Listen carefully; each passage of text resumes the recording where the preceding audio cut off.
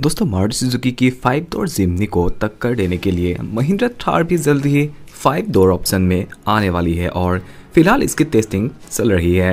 Five दरवाजे वाली थार में ज़्यादा स्पेस होने के साथ ही बेहतर फीचर्स भी देखने को मिलेंगे।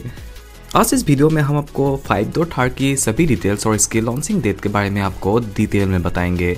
लेकिन वीडियो में हम आगे बढ़ने से पहले लक्ष्मी माता उन सभी पर अपनी कृपा बनाए रखना, जिन्होंने इस वीडियो को लाइक किया है और हमारे चैनल को सब्सक्राइब किया है। तो चलिए अब वीडियो में हम आगे बढ़ते हैं।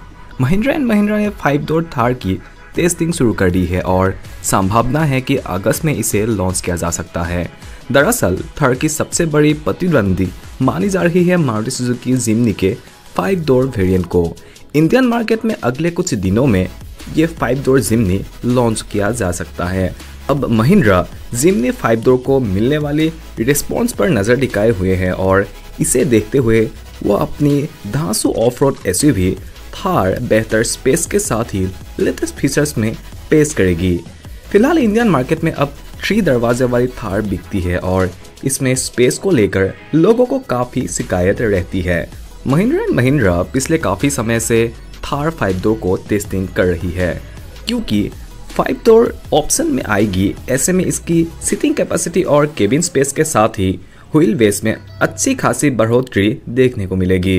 मीडिया बोर्ड्स की माने तो थार फाइव डोर में अपडेटेड इंटीरियर और बेहतर डैशबोर्ड के साथ ही ज़्यादा चौड़ी टायर, बेहतर सस्पेंशन, वायरलेस एंड्रॉयड ऑटो और एप्पल कारप्ले के साथ 9 इंच की touch screen infotainment system panoramic sunroof wireless charging automatic AC multiple airbags ADAS features में काफ़ी सारे बेहतर सेफ्टी फीचर्स देखने को मिल सकते हैं।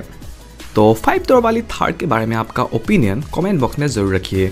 और अगर वीडियो अच्छा लगा तो वीडियो को लाइक और शेयर करना ना भूलिए। और हमारे चैनल को भी आप सब्सक्राइब करके हमारे साथ जुड़ जाइए। तब तक के लिए जय हिंद, जय भारत।